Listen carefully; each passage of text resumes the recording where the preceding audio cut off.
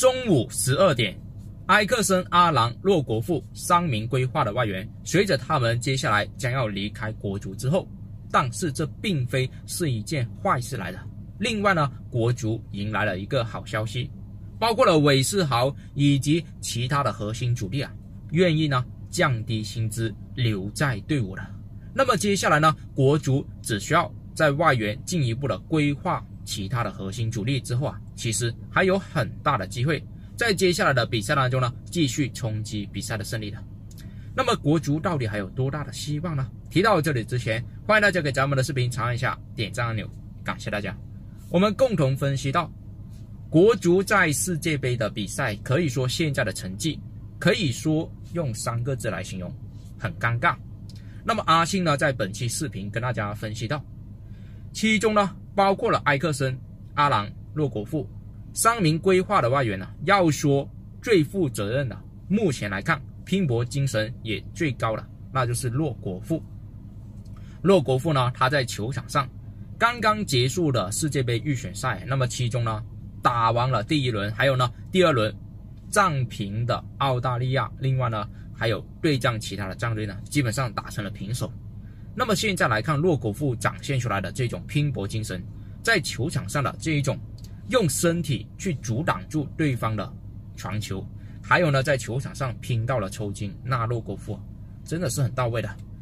只不过呢。洛国富现在呢，年龄也到了三十二岁以上了。埃克森、阿郎呢，年龄也同样呢是超过了三十二岁。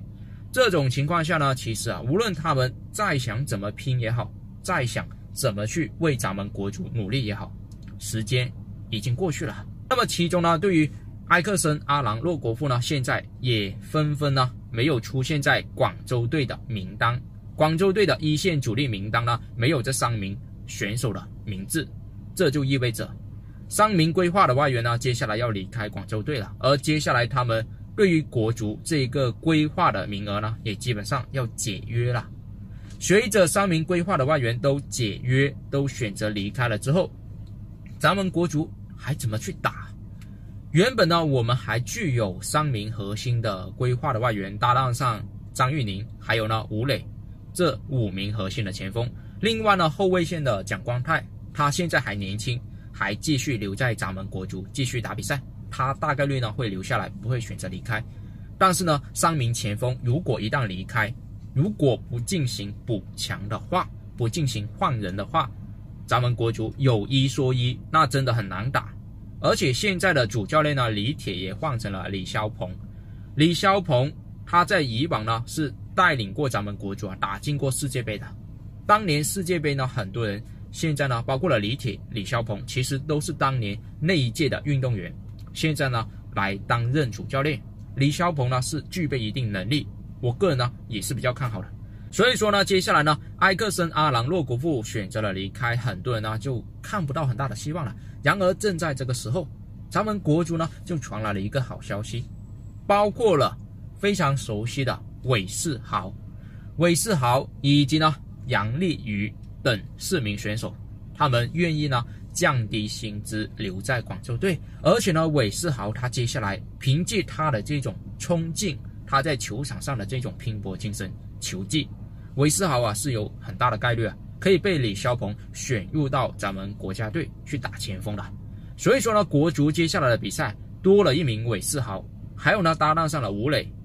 接下来再搭档上了非常强壮的张玉宁。三名本土的前锋，另外呢，再规划两名外援，包括了特谢拉等人，其实潜力都是比较大的。再把两名规划年轻的外援给引入进来，搭档上